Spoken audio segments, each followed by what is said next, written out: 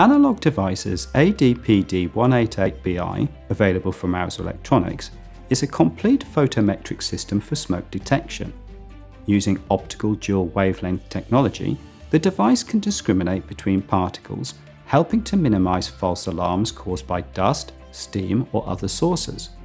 The 3.8 by 5 by 0.9 mm module integrates a highly efficient photometric front end, two LEDs, and two photodiodes, all of which are housed in a custom package that prevents light going directly from the LED to the photodiode without first entering the smoke detection chamber.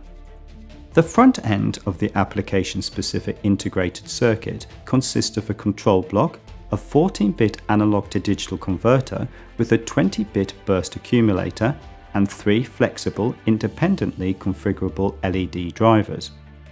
The control circuitry includes flexible LED signaling and synchronous detection. The analog front end features rejection of signal offset and corruption due to modulated interference commonly caused by ambient light. The data output and functional configuration occur over a 1.8 volt I2C interface or serial peripheral interface port. For more information on the Analog Devices ADPD188BI integrated optical module for smoke detection, visit mouser.com.